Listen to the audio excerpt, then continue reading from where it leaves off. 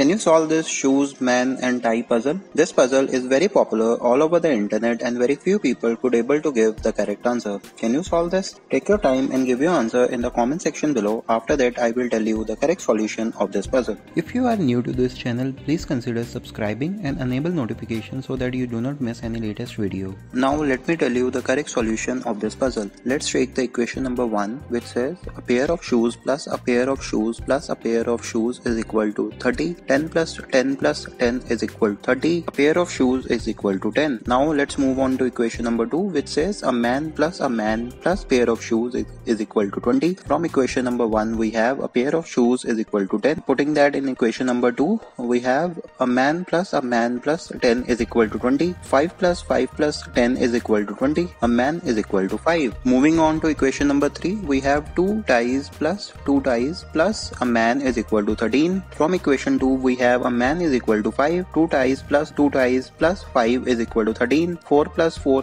plus 5 is equal to 13, 2 ties is equal to 4. Moving on to the last equation which is equation number 4. From equation 1, 2 and 3 we have pair of shoes is equal to 10, pair of ties is equal to 4, a man is equal to 5. So a pair of shoes is equal to 10, a shoe is equal to 5, 2 ties is equal to 4, a single tie is equal to 2. The man in equation 4 is not similar to man in equation 2 and 3. It has a tie and a pair of shoes in his feet. So a man with tie and pair of shoes is equal to a man plus a tie plus a pair of shoes. A man with tie and pair of shoes is equal to 5 plus 2 plus 10 which is equal to 17. Now we have a tie is equal to 2, a shoe is equal to 5, a man with tie and pair of shoes is equal to 17. Putting all the values in equation number 4 we have 5 plus 17 into 2 is equal to question mark. Apply BODMAS. First we will do the multiplication then we will do the addition. So 5 plus 34 is equal to question mark. Correct answer of this puzzle is 39. Hope you like this video. Do give it a thumbs up.